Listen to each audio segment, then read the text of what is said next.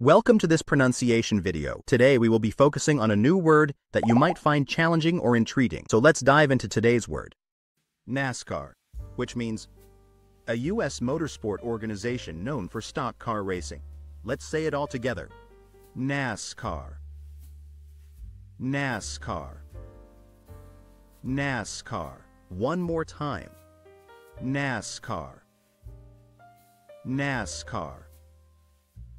NASCAR. Thank you for joining us on this adventure in pronunciation. Remember, language is a journey, not a destination. Keep exploring, experimenting, and expanding your linguistic horizons. We'll see you next time.